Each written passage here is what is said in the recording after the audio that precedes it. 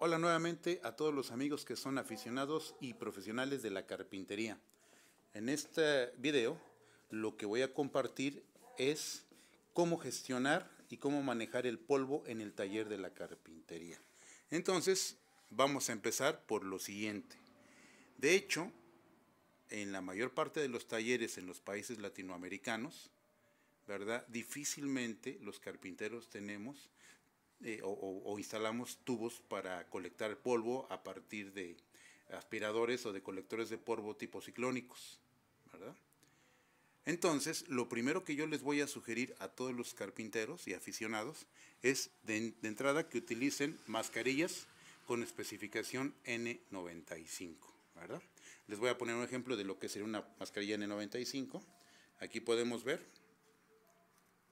esta mascarilla y ahí donde está mi dedo pulgar, ahí van a ver una N95, esa especificación que depende de una administración para la salud y la higiene en el trabajo que se llama OSHAS en Estados Unidos, lo que nos está indicando es que se va a filtrar el 95% del polvo que es mayor a 5 micras, lo cual es, en sí es muy bueno, ¿verdad?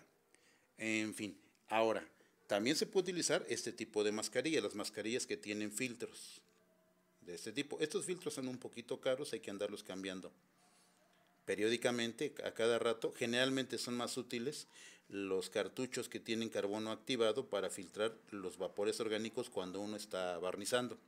¿verdad? Es ahí donde es muy ventajoso este tipo de mascarillas que tienen un cartucho o dos cartuchos. ¿Verdad? Lo que ocurre aquí es que son un poquito más caros y luego es un lujo andarlos cambiando a cada rato y, el carbono activado que viene aquí adentro se satura con cierta rapidez. ¿verdad? Entonces, el primer punto, punto importantísimo, es utilizar mascarillas como esta o como esta para evitar un 95% del polvo que está en polución, que está eh, nadando en el aire en el taller. Bueno, segundo punto, que es muy importante, Aquí en el segundo punto hay que buscar en todo momento disminuir la generación de polvo. Esto es importantísimo, porque muchas veces eh, hay carpinteros que dicen, no, pues este, ya nada más voy a lijar aquí, voy a terminar lijando en vez de cepillar, y muchas veces el cepillado a mano, con cepillos de este tipo, por ejemplo, con cepillo de este tipo, eh, no nos genera tanta, tanto polvo. Entonces, en muchas ocasiones eh, hay algunos carpinteros, sobre todo los novatos, que no tienen todavía mucha práctica con los cepillos, no saben afilarlos bien, no saben ponerlos, ajustarlos, rectificarlos y ponerlos en punto. Y entonces en vez de cepillar, prefieren lijar y lijar y desbastar hasta quitar todas las cicatrices que deja eh, la sierra de disco y la, la herramienta de corte en la madera, ¿verdad? Entonces yo sugiero que aprendan mejor a usar el cepillo y que en la medida de lo posible disminuyan la generación de polvo, ¿verdad? Tercer punto muy importante, aquí está. Tercer punto es capturar todo el polvo que sea posible, ¿verdad? Y para eso las herramientas, las lijadoras que ya vienen preparadas para eso, ¿verdad?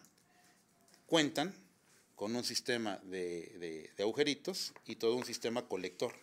Aquí lo vamos a poner, todo un sistema colector de polvo, ¿verdad?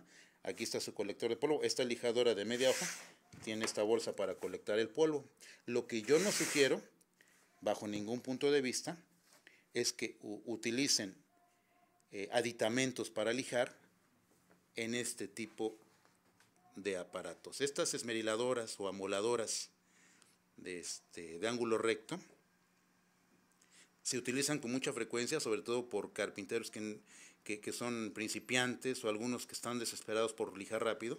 Se les pone un accesorio aquí, una copa para lijar o una superficie dura para lijar y el problema es que este tipo de aparatos no están preparados para lijar. Incluso aquí tengo eh, un artículo de una revista de 1990, la de Fine Woodworking, ¿verdad? En donde tiene un artículo que justamente habla del polvo y el carpintero. Y en la primera página, aquí se puede ver con claridad, aquí, a ver, vamos a quitar el brillo, aquí justamente pone el caso de, de, un equipo de estos que no está preparado para captar el polvo y aquí establece que se genera demasiado polvo en un lapso de 15 minutos y vuelve el taller completamente irrespirable, ¿verdad? Por lo tanto, yo sé que hay muchos carpinteros que eh, consideran que esta es una forma fabulosa de lijar. A mí no me gusta porque deja marcas y cicatrices circulares en la madera, pero además de eso, esa parte no es tan importante, la parte importante es el riesgo para los pulmones, porque en un ratito todo el taller se nebuliza de polvo fino, ¿verdad? Y este tipo de lijadora es una lijadora muy económica que no viene preparada con, con colector de polvo. También yo sugiero que hasta en la medida de las posibilidades no la utilicen si la pueden eh, evitar comprarles mejor, pero si, pero si ya la tienen, no la utilicen sin mascarilla, ¿verdad? Entonces hay que colectar la mayor cantidad de polvo que sea posible. ¿Sale? También es muy conveniente eh, muchas veces conectar una aspiradora a las lijadoras. Eso también es muy, muy conveniente. Ahora, vámonos con el cuarto punto. El cuarto punto también es importante, tiene que ver con la ventilación en el taller. Es decir, yo les sugiero siempre a los carpinteros que tengan uno o dos ventiladores para que el taller se ventile y después de una media hora de haber lijado, eh, se limpie todo el aire del taller, se recicle. Aquí tenemos nosotros, aquí se va a ver, un, ventilador, ¿verdad? Y entonces la idea es tratar de, que el polvo que está en el aire, en un lapso de un poco tiempo, pueda ser evacuado. Ahora, dentro de las normas de, higiene y seguridad eh, ambiental, ¿verdad? Aquí hay un, se llama valor límite, ¿verdad? Al cual podemos estar expuestos diariamente. Eh, al menos se establece que el aire del taller debe tener como máximo 5 miligramos por metro cúbico de polvo. Es decir, esto mismo es el equivalente a 5 partes por millón, ¿verdad? Sin embargo, aquí también lo que quiero comentarles y que es importante es que los peligros reales de andar respirando durante 8 horas diarias, que es una jornada completa, partículas menores a 5 micras, 5 micras son 5 millonésimas de, de diámetro, ¿verdad? O lo que es una milésima parte de un milímetro, que es lo mismo. El, el, el, problema de esto con los años es que se genera un problema que se llama fibrosis pulmonar.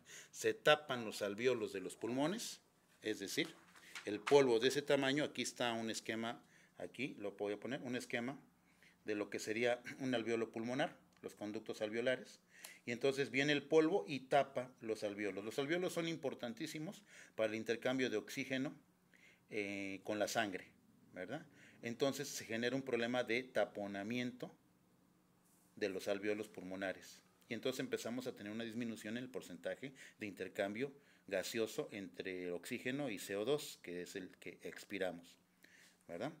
Ahora bien, aquí viene la otra parte que es un poquito más eh, posiblemente escandalosa porque esta es información más más o menos nueva, y es que en el caso de algunas maderas duras, particularmente el, polvo de haya, fagus y el polvo de quercus, que son todos los encinos y los robles, el roble europeo, de acuerdo con esta agencia que investiga el cáncer, resulta que, el, que ya está comprobado que el polvo de haya europea y el polvo de cualquier especie de quercus es un generador de cáncer a nivel de senos paranasales. son tres tipos de cáncer, tres o cuatro tipos de cáncer. Ahora ya está comprobado que con los años esto sí es generador de cáncer. Es decir, esto aquí tenemos en esta imagen, esta es haya alemana, eh, esto es encino americano, esto es encino mexicano, ¿verdad? Que son, estos son quercus y estos fagus. Esto es cagua. La cagua eh, se sospecha que puede ser generadora de cáncer, sin embargo está en la categoría A2, es decir, solamente sospechosa. Estas tres están en la categoría A1. Entonces, con los años hay que tener mucho cuidado porque ya está comprobado que son generadoras de cáncer, de ciertos tipos de cáncer de las vías respiratorias, ¿verdad?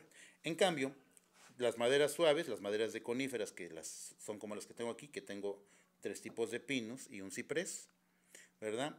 Eh, estas no son generadoras, no está comprobado hasta el día de hoy que sean generadoras de cáncer.